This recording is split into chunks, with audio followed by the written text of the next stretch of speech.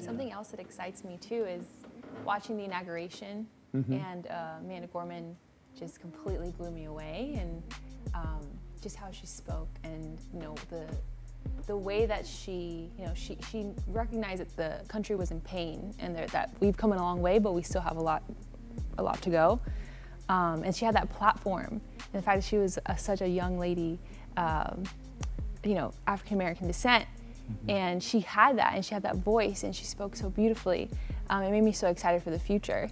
Mm. you know, made me excited to have kids, and, and for them to look up to someone like that, and there's so many other young young people that are changing the narrative mm-hmm. of, of this country and of the future of this country. So you said excitement, and I was like, I'm excited too. and you told me that was the highlight of the whole inauguration. Yeah. Hands was hands down, I think, the highlight of the inauguration. It was such a moment of hope. I felt like mm-hmm. when you're watching.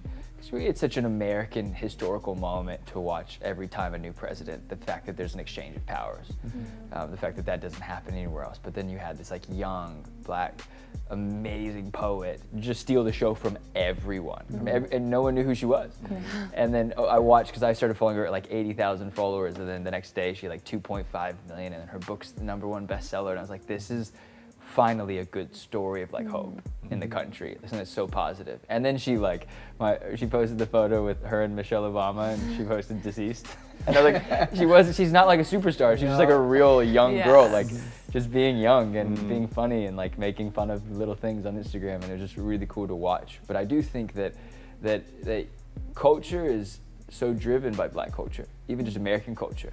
That, and we were talking about this kind of in the green room that like is it exploitative to only be a part of black culture but not actually engage in black relationships and, and intercultural relationships and are we doing our part as like a diverse nation to like fully integrate on every level. Mm. And we were talking about is is talking about this even exploitative about the conversation? You said what you said.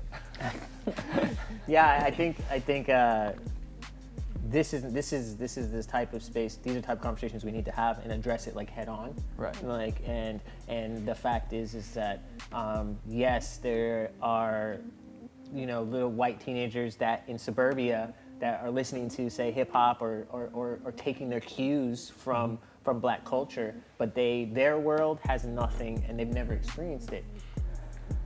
I'm not saying that that's wrong. I'm just saying that we have to be able to identify it and just address it. And how do we navigate that? You right. know, how do how do they learn how to navigate it um, growing up?